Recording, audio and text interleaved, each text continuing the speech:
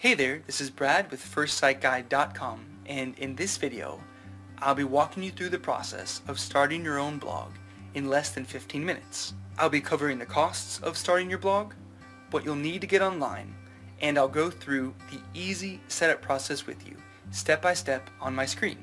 To get our blog online, we're going to use WordPress, one of the easiest blogging platforms available today. It's the same system used by the New York Times Company BBC America, author Tim Ferriss, and many other popular blogs on the web. And with the help of this video tutorial, you'll be able to start your blog today, as in right now. So let's go ahead and get started. Oh, and if you get stuck or have any questions, feel free to use the contact form on our website or contact us through our social channels. We'd be happy to help answer any questions. So first things first, let's talk about the costs of starting your blog. You'll need three primary things. A domain name, which costs about $12 a year, a good hosting provider, also called a web hosting plan, which will cost between 3 and $8 a month, depending on the company that you choose, and a blogging system to easily manage, edit, and organize your new blog, which is free and open source if you stick with WordPress, our recommended choice. Okay, let's talk about choosing a domain name. A domain name, also called the URL, is the name of your website that visitors will enter to access your new blog. For example, www.yournewblog.com. Choosing a domain name is really simple, but there are a few things that you should keep in mind when making your domain decision. Remember that the shorter the domain name, the easier it will be for someone to remember and to type in, so try not to include too many keywords or long words. If it's going to be a personal blog, your first and last name or a pen name would work great in this case. Or if you're starting a blog for a specific subject, like travel or fashion, it would be a good idea to include a keyword or two that fits for that unique topic.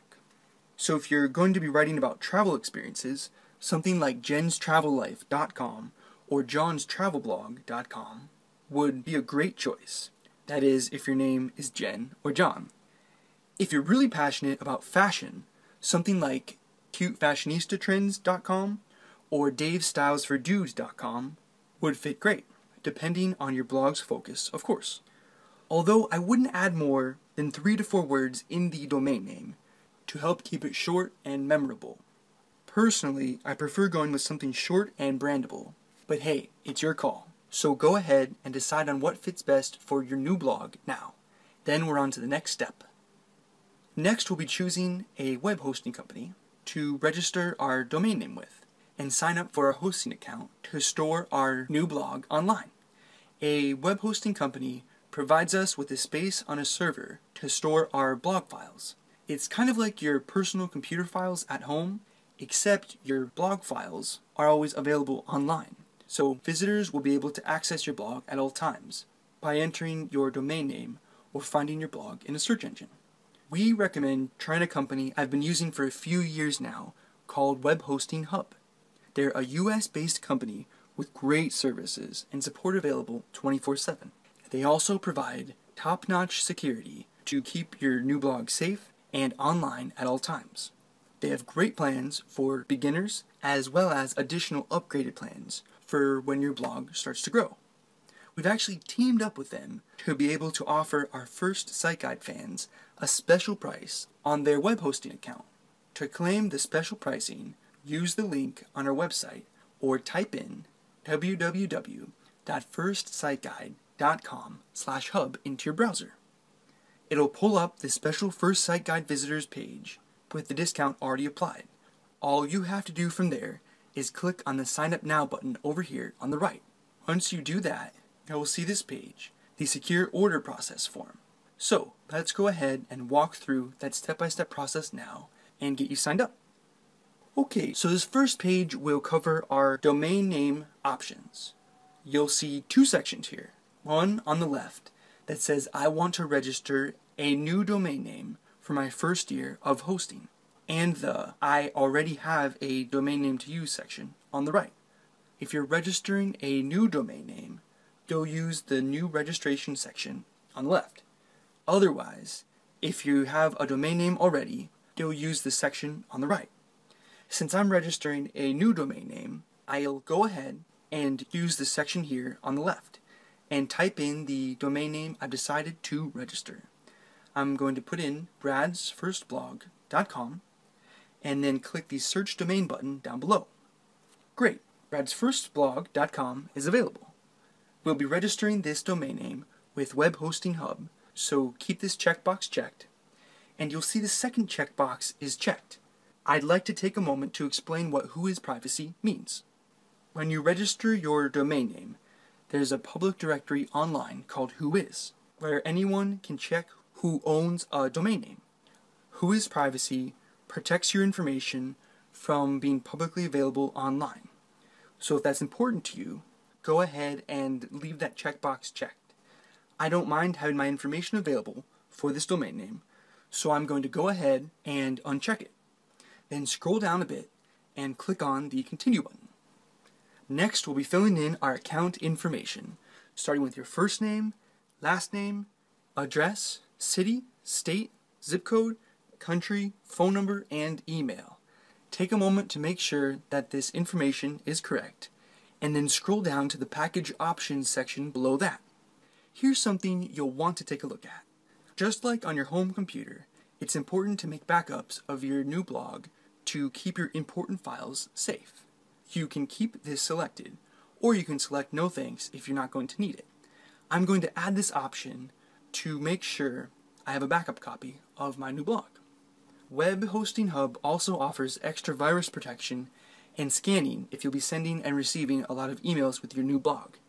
I don't plan to at this time, and you can always add this service down the road, so I'm going to leave it as no thanks. Also, since this is one of your first blogs, more than likely, you won't need to upgrade to Nitro right away for added speed and space, but it might be a good option if your site continues to grow in the future and you will need the extra resources. So you can keep scrolling down now. Under the payment details section, I'll be going with the Spark hosting plan for 12 months. Select your payment type and enter your card number, your card's expiration date, and the security code from the back. Great. So with the domain name for the first year and the backups, we're looking at roughly $70 for the first year. Nice. Make sure to read through the terms of service and check the I agree box. Then all you have to do is click purchase and wait for the page to load. Awesome and nice work. So we've now successfully purchased the domain name and the web hosting. The next step is something I found unique and quite useful, especially if you're new to web hosting. Web Hosting Hub takes you through something they call the onboarding process. It's simple. You can either wait for account support to give you a call, or you can call the toll free number yourself. They'll ask you a few details, find out if you need any help, and then activate your account right away. I'll go ahead and take care of that now, just a second. Now that our account is activated, we'll have received an email in our inbox with information on our domain name any additional help that you asked for, and how to access AMP, the account management panel. Scroll down just slightly and find to get started with AMP, simply click here in the email, and then go ahead and click that link. You'll be taken to a page to set your password for the first time. You'll want to ensure this is a strong password so your account and blog stay secure. Once you're finished, click the button to submit. Great, now click the link here and we'll go ahead and log in with the password we just set. You'll enter your email and the password and then click login. Nice. Now we're inside the account management panel. Here you will find different sections. Account notifications, additional services, your billing information, and more. You can check out all those different sections later. Right now, we'll go ahead and scroll down just slightly and look towards the middle of the page for the install popular software icon. Click here and this page will pop up. We are going to be installing WordPress, so click on the install WordPress link on the left here. Great. As I mentioned earlier, WordPress is actually one of the most popular blogging platforms. used by many big companies and universities. It's easily customizable with themes and plugins, and you can change the look and feel of your blog to make it the way you want. So that's why we'll be choosing it here. Alright, now here's the installations settings page for your new blog. For the choose protocol section, you'll see four options. The HTTP slash slash, the HTTP slash slash with the www, the HTTPS slash slash, and the HTTPS slash slash with the www. The first two options are basically the same, the only difference being personal preference of whether you want your domain name to appear with the www or without it. The HTTPS option is only for if your site has something called SSL. 99% of the time, you won't use it for your blog. So I'll select the protocol that includes www. For choose domain name, your domain name should already be selected. For in directory, just leave this field blank and keep the database name and the table prefix the same. Go ahead and enter a quick site name. I'll add in Brad's first blog and then add a description for your blog. I'll use my first blog where I talk about my life. There's no need to make this perfect right now since you can change it later at any time.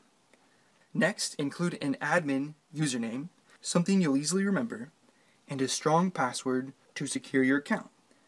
Make sure to save this information. You'll need it to be able to log into your new blog.